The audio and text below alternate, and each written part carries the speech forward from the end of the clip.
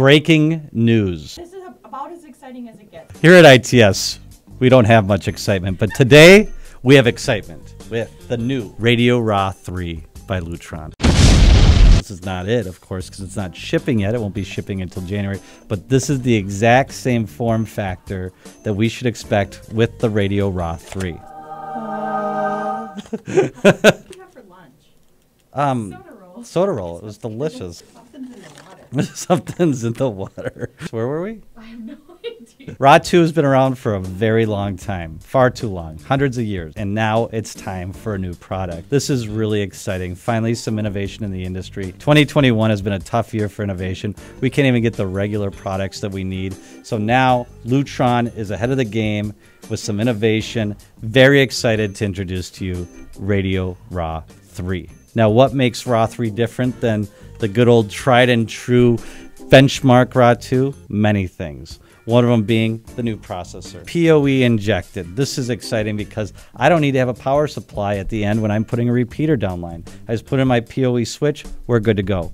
New quick find software. I just do a little search, it finds all the devices, you're done. This is as exciting as it gets, folks, for 2021. Recessed shelf and junction box mountable. I don't know what the hell that means, but it's a bullet point, and I love it. Jana, figure out what that means. Uh, simpler to program. It's easy to program, guys. RA 2 was a pain. And then the, uh, what was it, the RA 2 Select? That was better. And then Caséta came around, and Caséta was first. Back up. Hang on. RA 2 came around, then Caséta, and then Select. And Select was so easy, but we couldn't have the functionality that we need with RA 2. Finally, they updated the software. Even better, guys, we now have Leap API. Does that mean something? Sure, it does. It means that I don't have to program this twice. What I program in will now program with my third party control systems. Uh, Jana, post a thing up here on the corner like we usually do. Jana, I'm sorry. processor kit is sold with PoE injector included.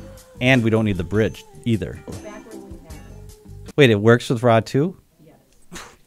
game changer. So again, guys, this works with Radio RA 2. It's backwards compatible, easier programming, easier install, cleaner install, PoE injected. This is really what I would call huge innovation for Lutron. There is nothing wrong with this switch. It's a nice Decora switch. Now we've got a really beautiful switch here. Press the button. You slide your dimmer up and down. It just it just kind of works. It's awesome. Bree, how many finishes does this come in?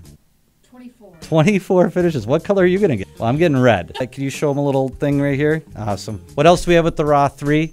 It ships in January. With products moving as quickly as they are, I would get your orders in ASAP. Again, this is Scott with ITS in the Box. We hope you have a wonderful day.